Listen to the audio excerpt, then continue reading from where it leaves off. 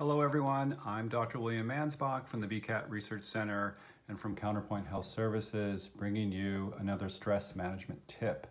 Today I'd like to talk about physical exercise. Of course you know that physical exercise is good for you, good for your body, good for your mind.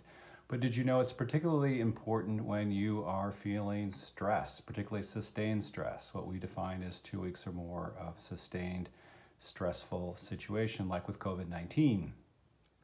Why is this the case? Because physical exercise releases many stress-fighting hormones and builds up your immune system.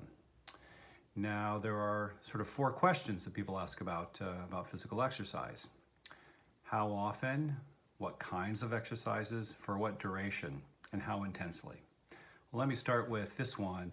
Anything that moves your body is good. Walking, running, jogging, whatever you might do. Um, so I think that satisfies that particular issue.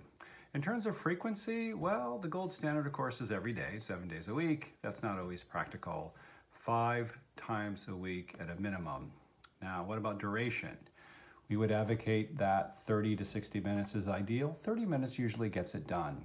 And what about intensity? How hard should I be working at it? Well, here's a rule of thumb.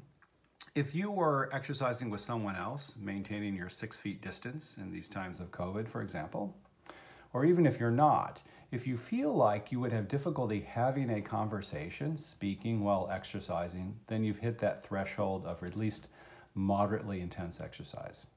I hope you find this helpful. I hope you combat stress. Go out and exercise today. Thank you.